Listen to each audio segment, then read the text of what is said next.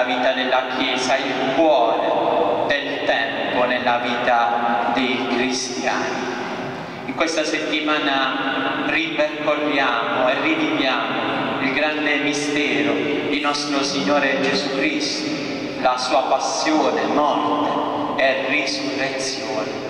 Quella risurrezione che ha donato a ciascuno di noi la salvezza, Cristo non è un personaggio del passato, lui è risorto, è vivo, è presente in mezzo a noi. E ancora oggi possiamo incontrarlo nella nostra vita. Lui viene incontro a ciascuno di noi, così come fece quel giorno quando si dirise, si mise in cammino verso Gerusalemme erano le sue ultime ore e quando va lì a Gerusalemme la gente lo acclama, Osanna al figlio di Davide, benedetto colui che viene nel nome del Signore. Lo riconoscono Messia, è gente semplice, umile, gente che prende dei rami dagli alberi e li stende davanti a lui, prende dei mantelli e li pone sulla strada che lui stava per percorrere. Quella stessa gente è quella gente che sta lì quando Ponzio Pilato chiede di rimetterlo in libertà, ma tutti gridavano crocifiggi. Gesù entra in Gerusalemme in umiltà, su un asino, un animale povero, un, un animale mansueto, mite.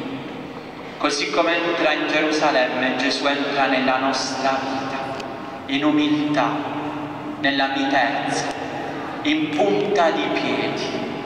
Lui non si impone mai, lui ci lascia sempre liberi, liberi di accoglierlo oppure di rifiutarlo. Apriamogli le porte a questo Signore, questo Signore che porta la pace, che porta la serenità nella nostra vita. Lui porta l'amore, è un amore per sempre, non un amore part-time, a tempo determinato, ma il suo amore è per sempre. Per questo Gesù, davanti ai suoi rinnegatori, ai suoi traditori, non si ferma, ma va avanti. Anche quando viene insultato sulla croce, se sei figlio di Dio, scendi. Tu hai il potere, perché non scendi? Ma Gesù, pur avendo le possibilità, rimane lì inchiodato per portare a termine il progetto di Dio, quel progetto d'amore. E Gesù ci dà un grande, grande insegnamento. Anche noi siamo chiamati a portare a termine il progetto che Dio ci ha affidato. Anche quando davanti a noi abbiamo dei traditori, anche quando davanti a noi abbiamo dei rinnegatori, anche quando davanti a noi abbiamo delle persone che ci mettono degli ostacoli, delle persone che ci insultano, delle persone che tradiscono la nostra fiducia. Siamo chiamati a portare a termine quel progetto d'amore che il Signore ha affidato a ciascuno di noi. E accanto a noi in questi momenti abbiamo Gesù che ci dice coraggio, sono con te, non mollare mai, perché quel progetto d'amore ti porta alla vera felicità. Io sono con te e queste ore le ho passate anche io, non mollare, vai avanti.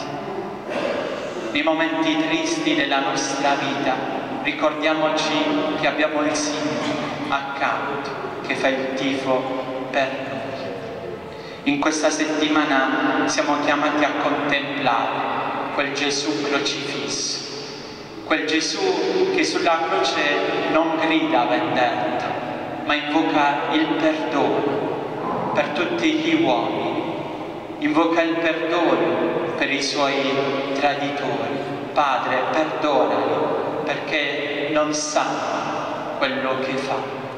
Il Signore invoca la sua misericordia verso la nostra vita. Possiamo contemplare sulla croce la misericordia fatta carne per noi. Possiamo contemplare un innamorato pazzo per la nostra vita. Il Signore ci ama follemente e di questo non dobbiamo mai dubitare.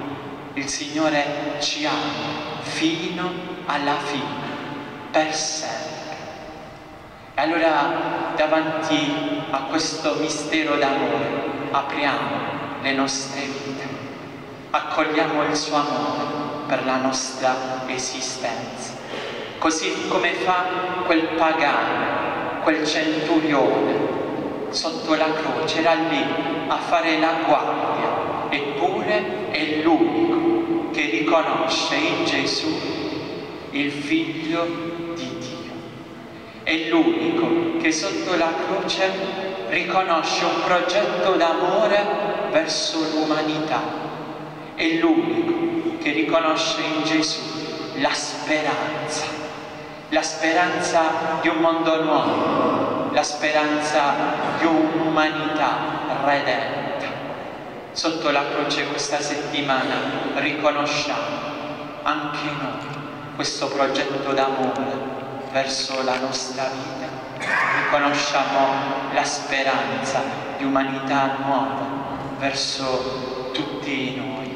Il Signore ci doni tanta pace, tanta serenità. Chiediamo al Signore che ci faccia vivere come Lui. Persone che ogni giorno si impegnano a portare a termine il progetto d'amore di Dio sulla nostra vita.